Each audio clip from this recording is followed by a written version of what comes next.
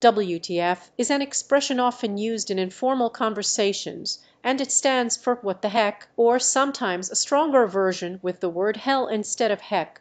It is typically used to express surprise, confusion, or disbelief about something.